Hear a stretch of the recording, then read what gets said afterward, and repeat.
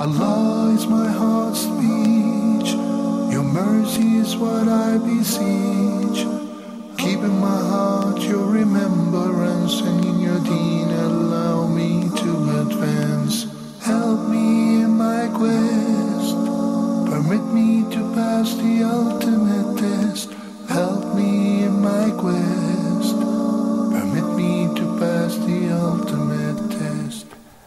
السلام عليكم ورحمة الله وبركاته. بسم الله الرحمن الرحيم. الحمد لله والصلاة والسلام على نبيه ومصطفاه سيدنا محمد وعلى آله وصحبه ومن والاه. Brothers and sisters, welcome to another live episode of your program Ask Huda. Uh, let me remind you our phone numbers. Area code 002 0238 131 132 the last three digits 131 or 132. The email address is ask at huda.tv and the Facebook page where I receive the questions is Dr. Muhammad Salah official. Uh, while waiting for your valuable calls and questions, inshallah, I have uh, a few questions to answer. The first one is um, from Sister Asia Fayyaz. She says that I wanted to know the three divorces sent via text message at one time, are they, do they count as one or three divorces? Uh, first of all, we have to understand that Allah the Almighty prescribed the way of divorce as the last resort when the marriage life is impossible and there is no possibility for reconciliation. So Allah the Almighty says, يا أيها النبي إذا طلقتم النساء فطلقوهن لعدتهن وأحصوا العدة So even in filing for divorce or giving divorce, one have to follow the sunnah which is prescribed in the Quran. The meaning of إذا طلقتم النساء فطلقوهن لعدتهن وأحصوا العدة that one should not divorce his wife whenever she is minister waited. Nor should he divorce his wife after she is uh, purified from the menses. Then he happened to have sexual relations with her because of the possibility that she may have conceived during this time. So what is the proper way? The proper way, if somebody already decided to give divorce to his wife, he should wait until her period is over. Then, after she's clean from her period, without having sexual relations with her, he may give her talaq. This is one talqah, one divorce. Allah the Almighty says in Surah Al-Baqarah, الطلاق مرتان فإمساك بمعروف أو تسريح بإحسان. I like to explain that because a lot of people do not perceive the meaning of الطلاق مرتان. You have the right to divorce your wife two times. Each one, each divorce should be filed or uttered or given في طهر لم يجامعها فيه after she has been purified from the menses without having sexual relations. Then, if he wants to divorce her again, that should not be within the same period. Rather, after another period and another purification without having sexual relations. Or, if it is in the same period, if he happened to take her back to the marriage life without a new marriage contract, because this is called طلاق الرجعي revocable divorce after the first and the second divorce that's why Allah said الطلاق مرتان divorce is twice so let's say that the wife is cleaned up from the period on Saturday on the same day he give her divorce he doesn't have the right to give her another divorce or a third divorce within the same month the same period before experiencing another menses and being clean from the next menses. Why? That's a very important question. I will answer inshallah after we take some calls. Sister Amber from the KSA, welcome to Ask Huda. Sister Amber. Thank you. Uh, Assalamu alaikum. Wa alaikum salam wa rahmatullahi wa barakatuh. welcome Um, to the program. uh, thank you so much. Uh, Sheikh, I have um, two questions. Yeah. Actually, uh, it so happened that uh, in my Tajweed class, we were asked two questions by the teacher. Uh, where is Allah and uh, why do we go to Masjid al-Nabawi?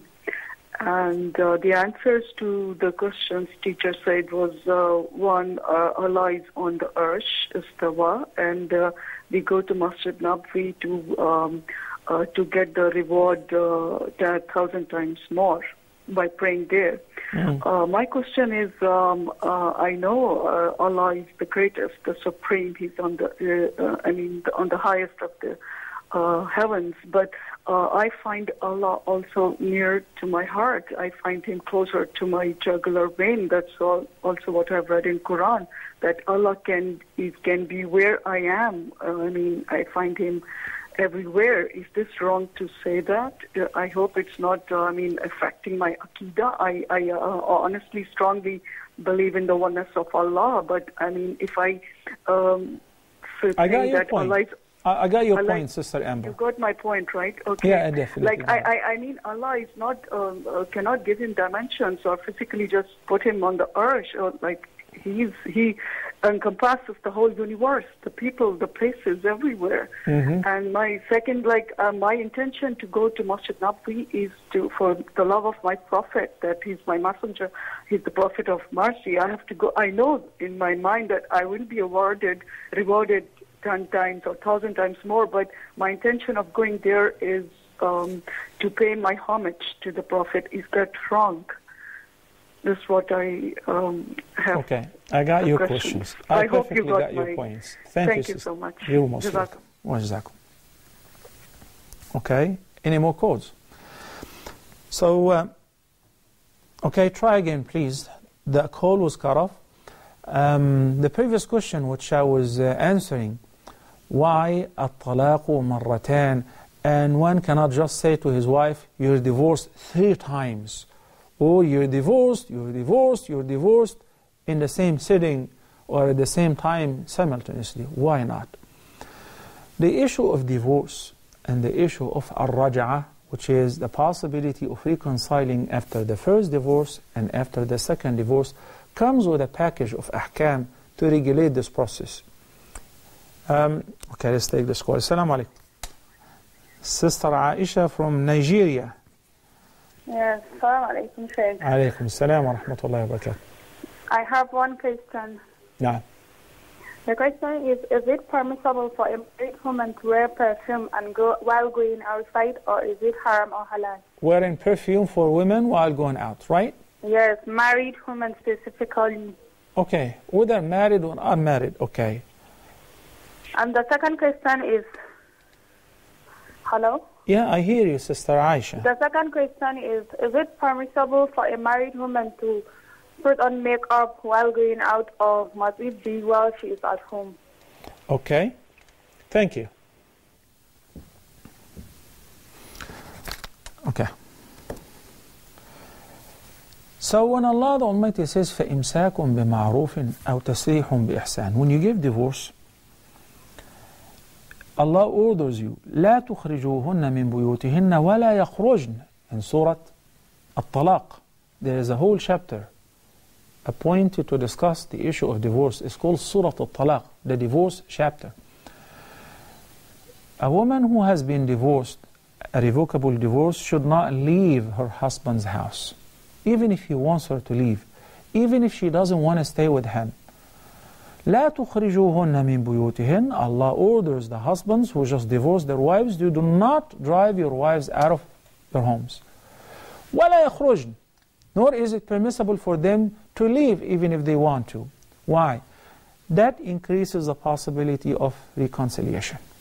And a woman in this period is recommended to wear the nicest clothes, a nice perfume, in order to reconcile. Sometimes when the person says the word of divorce, Satan is very active and he created trouble between the couple. Then afterward, they regret, both of them. How often? This is very often.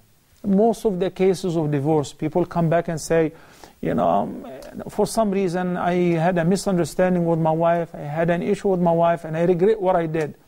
If it is the second, first divorce, second divorce, there is a possibility of reconciling and revoking your divorce. That's why he said, إمساك بمعروف, you can keep your wife back. أو تسريح بإحسان.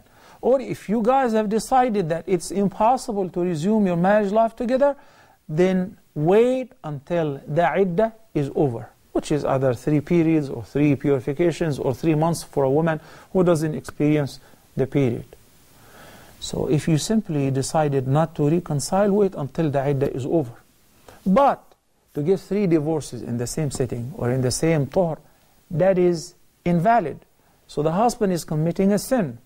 But whether the divorce is effective or not, that's a, an entirely different concept. Oh, again, inshallah, I will answer after this call. Assalamu alaikum. Brother Anwar from the KSA.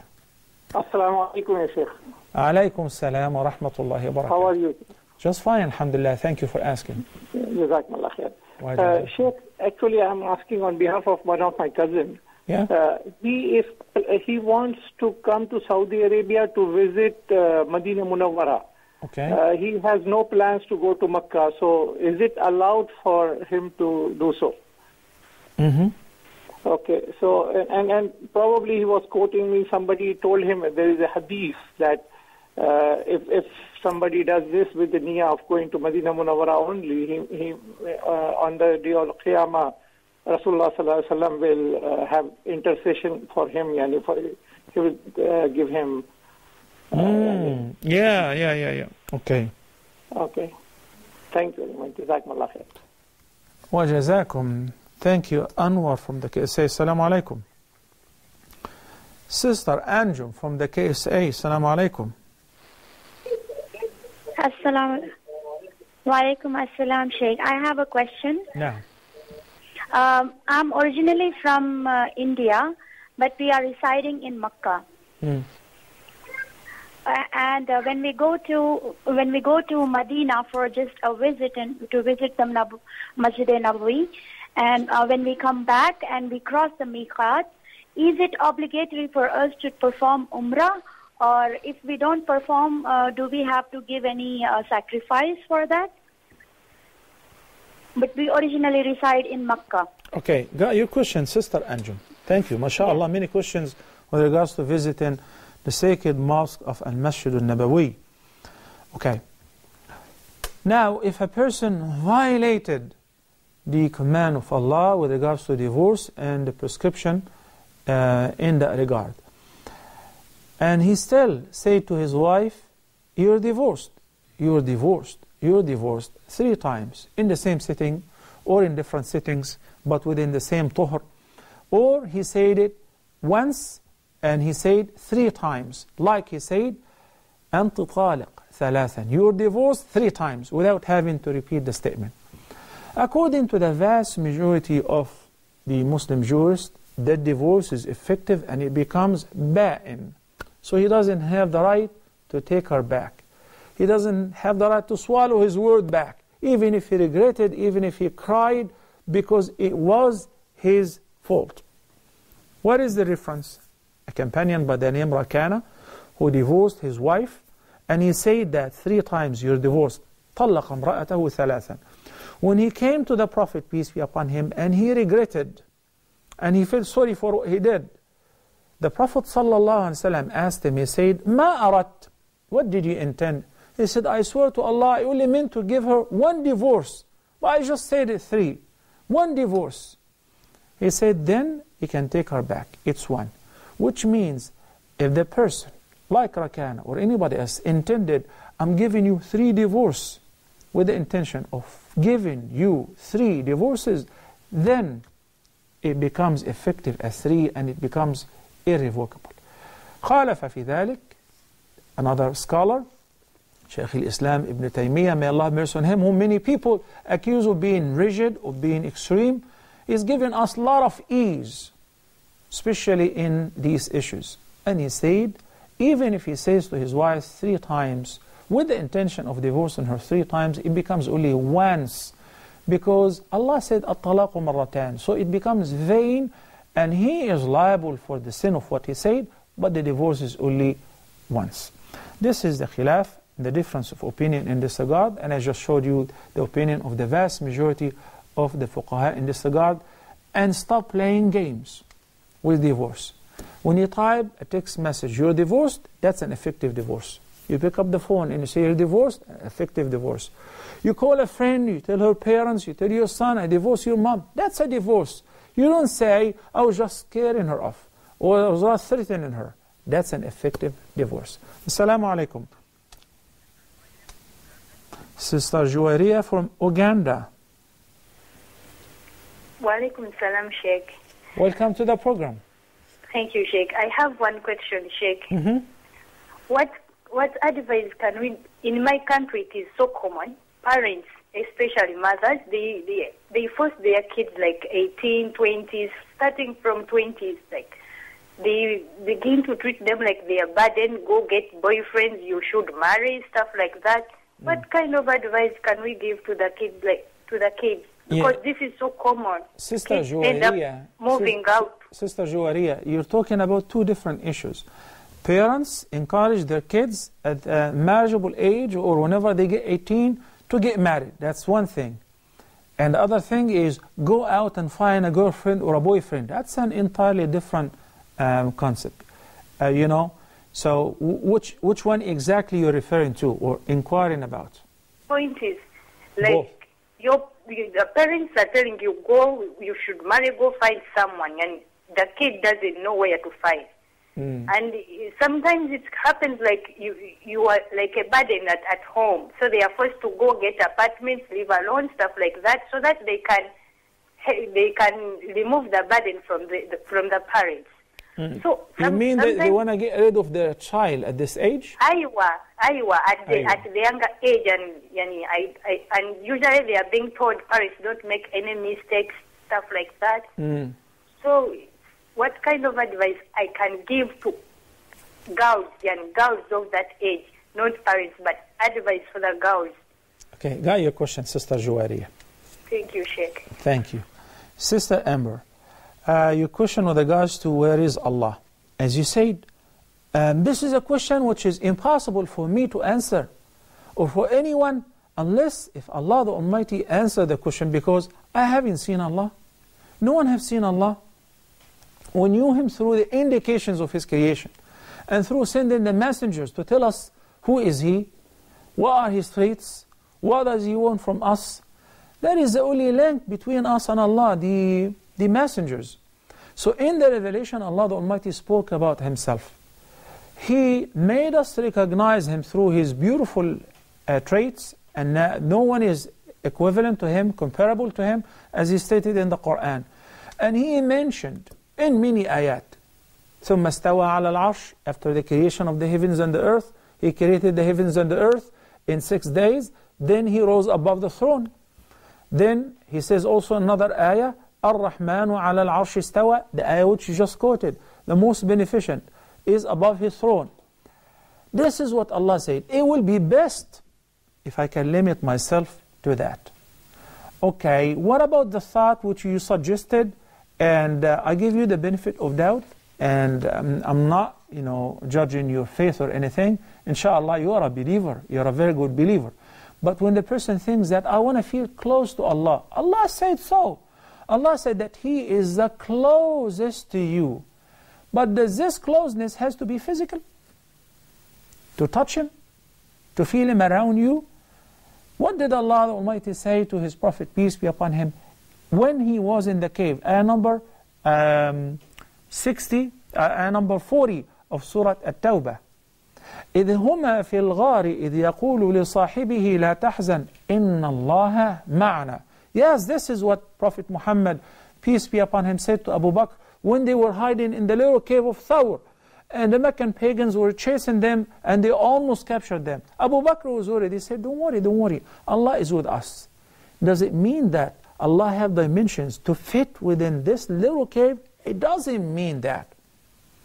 When Moses, peace be upon him, was instructed by Allah to go along with Harun to the Pharaoh, and they said, إِنَّا نَخَافُ أَن يَفْرُطَ عَلَيْنَا أَوْ أَن يَطْغَى We're afraid that this guy is crazy, he can kill us, he can, you know, hurt us. Allah the Almighty said, لا تخافا إنني معكما Fear not, because I'm going to be with you. How? He said, Asma'u wa ara. I hear what is going on, and I see what is going on. So this ma'iyya, or being with, doesn't have to be physical. Allah is above all things, above the creation. If His Kursi, we studied Ayatul Kursi, the greatest ayah in the entire Quran of Surah Al Baqarah, He spoke about His Kursi, the footstool not al-arsh, the footstool. He said it encompasses the heavens and the earth and all that exists. And the footstool compared to al-arsh, which is Allah above, is like a ring thrown in a plain or in a huge desert. So Allah is above all of that. But His infinite hearing, His infinite sight, His infinite power, He's omnipotent, gives Him the ability to see behind closed doors, to hear the crawling of an ant on a dead rock on a dark night, in the middle of the night, and uh, the fish in the sea. He hears the crying of those who are in need. He doesn't have to be, you know, physically, because Allah is beyond dimensions, as you just mentioned.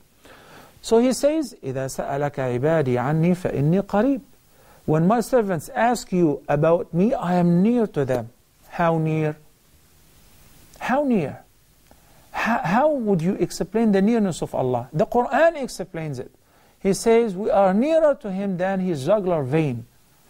Allah knows what you're even thinking about. Okay? So this is the nearness of Allah subhanahu wa ta'ala. But when you say Allah is everywhere, the danger of that belief that Allah is divided everywhere, Allah is in places which even the angels refrain from entering, bathrooms, dumpsters, you know, nightclubs, dirty places, but Allah sees these places. Everything for Him is see-through. Okay? Assalamu alaikum wa rahmatullahi wa barakatuh. Sister Aisha from Nigeria. Assalamu alaikum, Sister Aisha. Assalamu alaikum, Ya Sheikh. Alaikum assalam wa rahmatullahi wa barakatuh. How are you? Just fine, alhamdulillah. Thank you for asking, Sister Aisha. How about yourself? We can't wait to have you in Nigeria, Sheikh. May I'm very, very excited about this journey. Insha'Allah, may Allah enable me to visit you and enjoy my visit, and you guys, insha- insha'Allah, enjoy the conference likewise. Okay, inshallah. Um, Sheikh, I have um, five questions. Mhm. I have five questions. Some of them I called and asked, and I think I didn't catch the program, or I don't know, I couldn't get the answer. Okay, just bring them up. Okay. Um, my first question is about the sujood saha I asked last time. Sujood sahwa, Yes. the forgetfulness, prostration. Now, now, if you deduct something from your prayer, and you you are going to correct it by the Qibla, right? Yeah. And what if you forget the Qibla and leave your praying place and then remember later? Is the salah totally void or can you come back and do the ba'ad? Um, okay, when did you remember? Um, after, just after you leave the praying place. Okay, I'm trying because you, you're breaking off, your sound is breaking off. You say that if somebody forgot a rak'ah, for instance, in the prayer, then he also forgot to pray sujood sahw. Am I right? Now, yes. Okay. Okay, that is the first question. Next. My second question is about praying, praying your personal dua in salah. For example, oh, pray for work or health or um, personal prayer in salah. Can you pray your personal, if you finish Fatiha and Surah, can you just say, oh Allah, give me this and that, or in ruku or in sujood?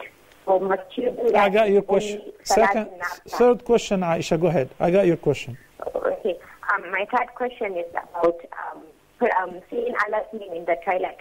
I know that it is um, not permissible, but what of people that take their perform the ablution in the toilet? Or maybe I, I um, Okay, next the question. I, I got the third question. Bring up the fourth, quickly. Okay. My first question is the distance between uh, Imam and Ma'mum. For example, if a husband is leading his life in prayer. We lost uh, that call. Okay, we got three questions. Okay. Um, your second question, Sister Amber, why do we visit Al Masjid Al Nabawi? No doubt that loving Prophet Muhammad, peace be upon him, is the greatest act of worship because loving Prophet Muhammad is loving Allah the Almighty. Okay? Uh, that's why in the hadith, the Prophet ﷺ said, um, there are three qualities. Whoever will possess them will find the sweetness of Iman. أن يكون الله ورسوله أحب إليه مما سواهما. To love Allah and His Messenger more than anything else. Okay. So I love to visit the Prophet's grave and I love to give salam to Prophet Muhammad's grave and I will be rewarded for that. But the prescription of visiting Medina is to visit this masjid. Yani, if I'm in Medina and I decided to visit the grave of the Prophet will I be rewarded for that to visit and give salam? Of course. If I will be rewarded for visiting any graveyard, Muslim graveyard, what about visiting the grave of Prophet Muhammad and his best two companions, Abu Bakr and Umar? But in the hadith, Prophet Muhammad, peace be upon him, said, one should not assume a journey to visit any masjid on earth except for three masajid. He mentioned Al-Masjid Al-Haram in Mecca, his masjid in Medina, and the farthest masjid in Jerusalem. May Allah enable us to reclaim it and liberate it. Okay. So this is the intention of visiting there. Then I'm in Medina. I visit the grave of the Prophet ﷺ. Very lovely. And also it is worth of mentioning here that the Prophet ﷺ said, Wheresoever you are, send your peace and blessings upon me because it will reach me and I will reply back to you. أينما تكونوا يصلني سلامكم. Wheresoever you are, your peace and blessings, your salutation will reach me. Because Allah have appointed angels whose, as he said in the hadith, سياحين, tourists. They tour the globe. They gather and collect the salam that you, me, and people in Russia, people in the States, people in India send to Prophet Muhammad and they deliver that to him. And Prophet Muhammad ﷺ replies back with the same. Then Allah blesses you for it ten times. May the peace and blessing be upon Prophet Muhammad ﷺ. We're going to take a short break and we'll be back inshaAllah in a couple of minutes. Please stay tuned.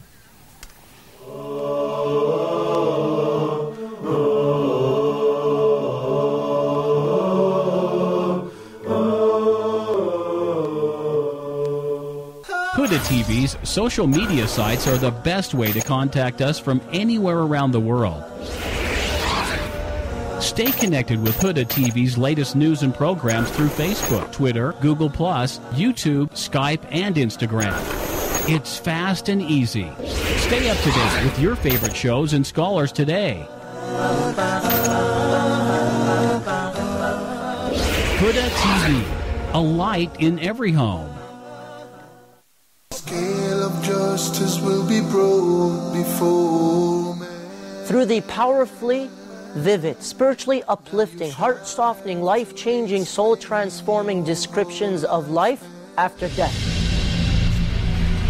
We reminded ourselves about the barrier that is placed. So once you leave this world, a barrier is placed behind you, and you are prevented from coming back to this life. Those two rak'ahs that you used to pray, you used to take for granted. After you leave this world, there's a barrier. The journey of the soul through the stages of the day of resurrection and the explicit descriptions of hellfire as well as the beautiful and spiritually uplifting descriptions of paradise. Allah subhanahu wa ta'ala is saying, we did not create the heavens and the earth without purpose, without aim, without a reason. This is the assumption of those who disbelieve, so beware and low to those who disbelieve from the hellfire. And so Allah subhanahu wa ta'ala gives us immediately the example of the righteous people on the Day of Judgment. So He says, أَلَا إِنَّ أَوْلِيَاءَ اللَّهِ لَا خَوْفٌ عَلَيْهِمْ وَلَا هُمْ يَحْزَنُونَ So Allah subhanahu wa ta'ala says, no doubt, verily, the awliya of Allah, the friends of Allah, those who are close to Allah subhanahu wa ta'ala, there is no fear on them, nor shall they grieve. Now you shall have to explain your whole lifespan.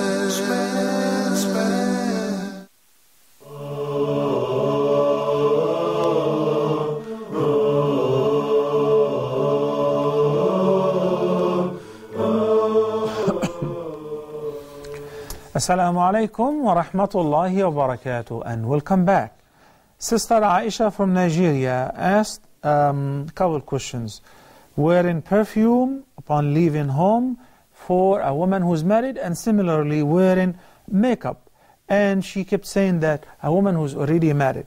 Um, the hukm will not be any different than if a woman uh, is single and looking for to get married or if she's already married Because the viewers do not distinguish between a woman who's married and a woman who wants to get married.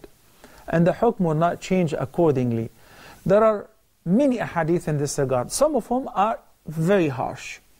You know, take for instance Abu Musa al-Ash'ari, may Allah be pleased with him, narrated that the Prophet ﷺ said in the sound hadith, أيما امرأة استعطرت فمرت على قوم ليجدوا من ريحها فهي زانية. And this hadith, as I said, is very harsh because it says there is a severe warning against a woman who wears perfume deliberately so, so that when she passes by people, by men, they find her fragrance and they look at her. He said, فهي زانية. In another hadith which is collected by Imam al-Nasa'i, Zainab al-Thaqafiyya, may Allah be pleased with her, narrated that the Prophet ﷺ said, إذا خرجت إحداكن إلى المسجد فلا تقربن طيبة Even if you're going to the masjid, you should not wear any perfume. Um, let's take this call and we'll continue inshallah after. Assalamu alaikum. Umm Rayyan from the USA. Assalamu alaikum. Sister Umm Rayyan. Walaikum assalam wa rahmatullahi wa barakatuh. Welcome to the brother. program. How are you? Fine, Alhamdulillah. Thank you. Thank you for being on hold for some time. It's okay, brother. To talk to you is uh, like so much knowledge. We can wait. Thank you. May Allah bless you and your family. Okay, brother, I have a, a question. Uh, if someone borrowed some money but nobody knows and he died, like a like a father or brother or sister, like close relative, but we don't know he borrowed some money from someone and how much amount, and we want to pay, but I don't know how to do it so that he won't be, you know, uh, he gets not punished for, you know, having the loan from someone. I mean, can we do like anonymous uh, charity Okay. for the person who gave the money? Okay. And my second question is that uh, for the uh, fidya of rosa, if I don't know if somebody didn't fast for how many days, so how should I give the fidya? I want to, instead of giving charity, if giving the rosa fidya, but don't know the count, so what should I do, like making what niya? Jazakallah khairan. Jazakum. Thank you, sister. Umm from the USA. Uh, let's take one more hadith with regards to the prohibition of wearing perfume and similarly makeup for a woman upon leaving home, even if she's going to the masjid. Abu Hurairah radiallahu an, a very famous and a great companion, uh, said that once a woman passed by him and she was on her way to the masjid and she was wearing fragrance, perfume. He said, Ya Amat al-Jabbar, al-Masjid turidin, O servant of the irresistible, the most powerful, are you heading to the masjid? Are you going to the masjid? She said, yes. وَلَهُ تَطَيَّبْتَ And that's why I'm wearing my best perfume because I'm going to the masjid. He said, فَارْجِعِي فَاغْتَسِلِي Go home, wash off yourself, wash off this perfume. Because I heard Rasulullah sallallahu alayhi wasallam saying, ما من امرأة تخرج إلى المسجد تعصف ريحها فيقبل الله منها صلاة حتى ترجع إلى بيتها فتغتسل. And this is as far as for going to the masjid. He said, he told her that, okay, you did this with a good intention. You were in perfume because you're going to the masjid. But I heard Rasulullah saying that if a woman wears perfume and she goes to the masjid and her fragrance is volatile and people can find her fragrance, even if she prays, the prayer will be invalid. It will not be accepted. Unless if she goes home and wash it off, then she offers her prayer. There are many ahadith in this regard. I just quoted some. So um, the, the reason is, uh, I'm pretty sure that many of you got to see uh, a video was filmed in New York City that a woman, I don't know whether she is uh, Muslim or not, but some people um, put a hidden camera and followed a woman wearing ordinary clothes but she was not wearing hijab, you know. And how many sexual harassment that she had over a period of six hours or so. And the same woman, in another day, she put on the hijab and she walked in the same streets before the same lousy people, and not a single person, not a single person harassed her or picked on her or even looked at her. This is filmed and it's available on the YouTube. Uh, you know, this is the reason why Allah ordered women to wear hijab. So that men and women both will keep modesty, not just for themselves, but for the entire society. Sister Aisha, again, it doesn't make any difference whether the woman is married or not married. Brother uh, Anwar uh, from the KSA said that a friend of his is coming from abroad, just to Al-Madinah, to visit the grave of the Prophet ﷺ um, and he said that there is a hadith in this regard. I'm very familiar with this hadith. The hadith says, من زار قبري وجبت له شفاعتي. What does it mean? The hadith says, whoever visits my grave, my intercession will be due for him. Okay. In order to act upon any statement, number one, we have to verify whether it's sound or not. The hadith, there are three views with regards to its a decategorization of its authenticity. The first view, which is adopted by uh, Shaykh al-Islam ibn Taymiyyah, said this hadith is not even hadith, it's fabricated. Al-Imam al-Nawawi, may Allah have mercy on him, says this hadith is very weak. Al-Imam al-Zahabi considers this hadith um, a Hasan hadith or a fair hadith. In other case, yes, I'm saying in other case, the Prophet ﷺ says, if you repeat after the mu'adhin five times a day, and you say, Allahumma rabba hadihi da'wati tamma wa salati al-qa'imah, the invocation after the adhan, you will be eligible for his intercession. Five times a day, wheresoever you are. When you fly from overseas thousands of miles, or you come even hundreds of miles to the peninsula, to the sacred places, why don't you come up with the umrah? Why don't you visit Mecca and perform Umrah? It's only a few hours extra. And if you fly to Jeddah first, then uh, you fly to Medina, that's another 45 minutes flight. You know? Yes, indeed, when you visit the Masjid of the Prophet ﷺ, each prayer you offer there is a thousand times better than praying anywhere else. But the hadith says, except in Al-Masjid Al-Haram, because praying in Al-Masjid Al-Haram is rewarded for each prayer a hundred thousand times more. Well, I still intend just to visit Medina. That's permissible. You're not, you're not committing sin.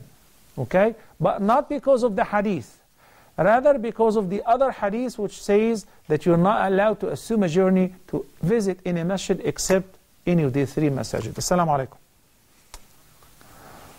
Brother Aboud from Uganda.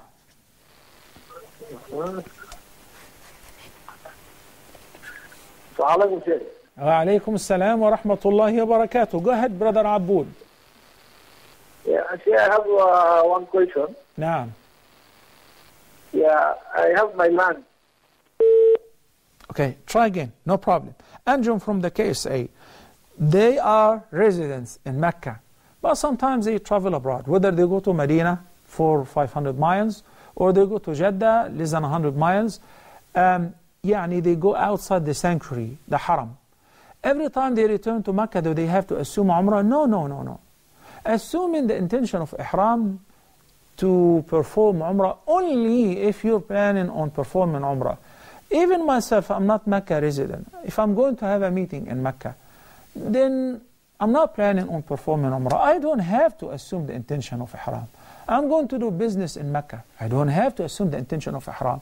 Al-mawaqit, or the appointed points of assuming the intention of Ihram from, are only prescribed if you're planning on performing Umrah. Assalamu alaikum. Sister Umm Fatima from Nigeria, welcome to the program. Assalamu alaikum, Sheikh. Alaykum assalam wa rahmatullahi wa barakatuh.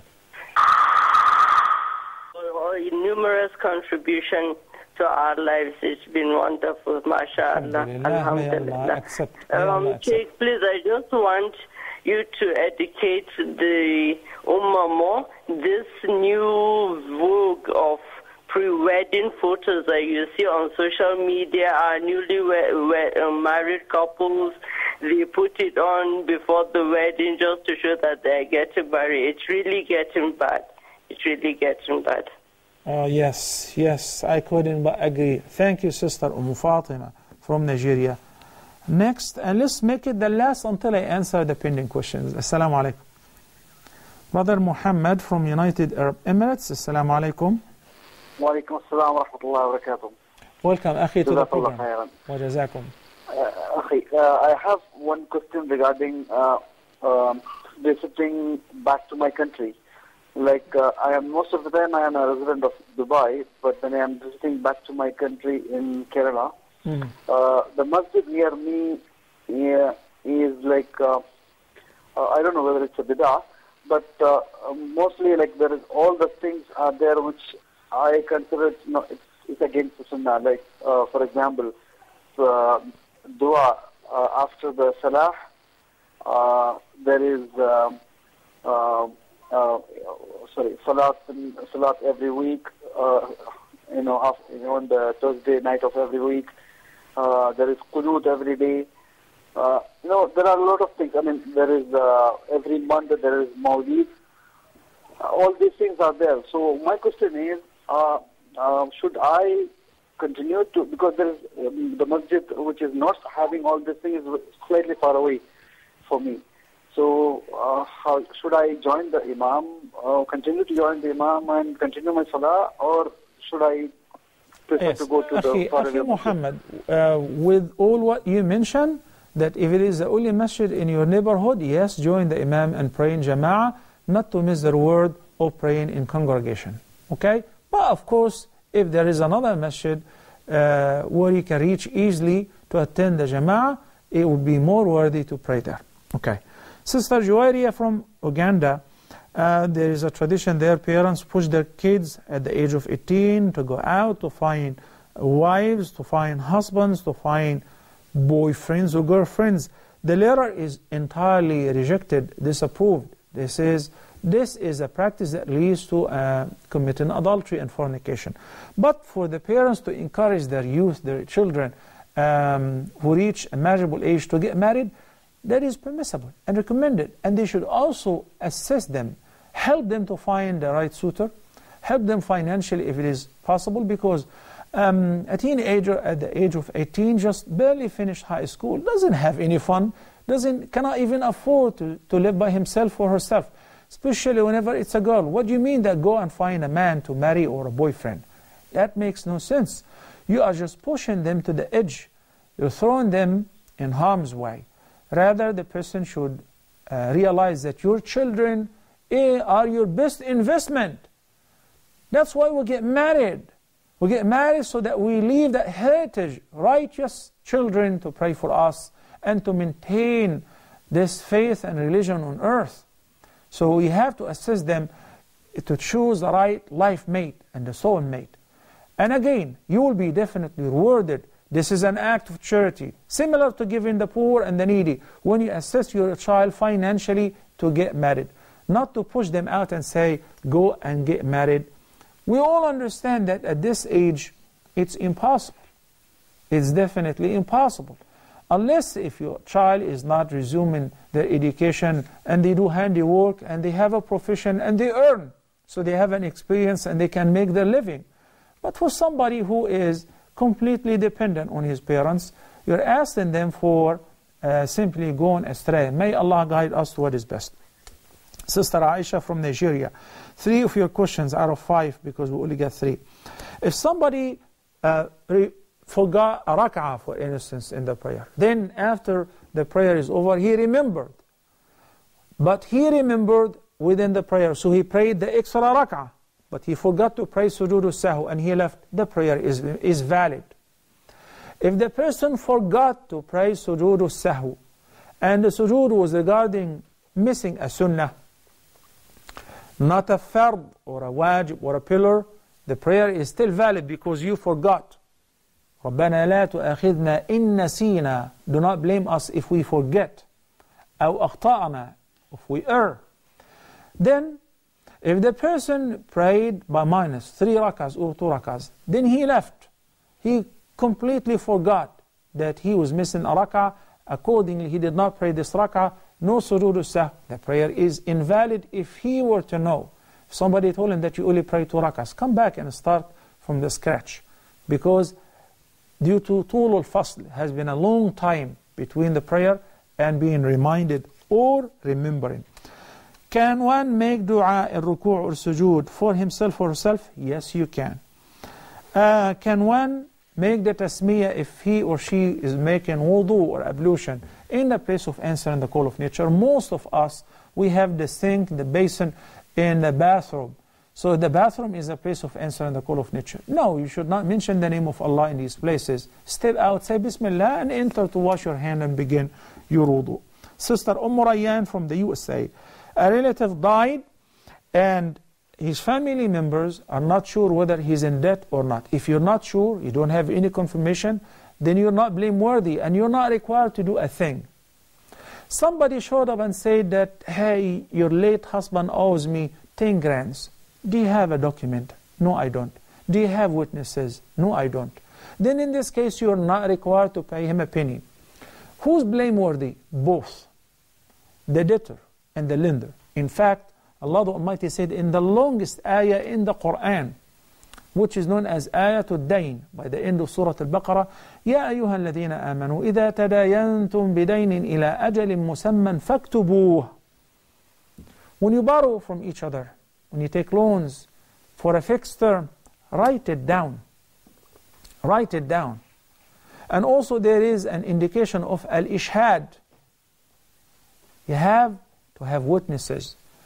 So having a written statement is very important to secure everybody's right.